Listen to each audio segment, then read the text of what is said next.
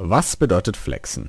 Flexen ist ein vielseitiges Wort, das je nach Verwendung eine andere Bedeutung hat. Dabei wird es von Handwerkern bis Rappern benutzt. Also, was hat es damit auf sich? Flex. Das ist ein Name eines bekannten Elektrowerkzeugs, mit dem sich Gegenstände abschleifen lassen. Flexen wird also oft mit dem Wort Winkelschleifer gleichgesetzt. Besonders unter Handwerkern ist diese Bezeichnung schon lange gang und gäbe. Die wohl größte Verwendung findet das Wort bei der Jugend, allerdings unter der Bedeutung angeben.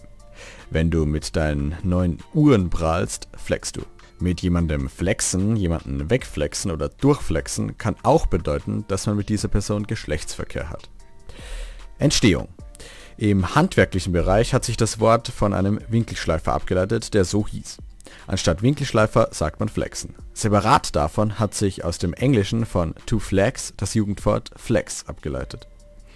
Ich hoffe, ihr habt wieder was extrem Wertvolles für euer Leben dazugelernt. Ciao mit V und Küsschen aufs Nüsschen. Ciao Leute.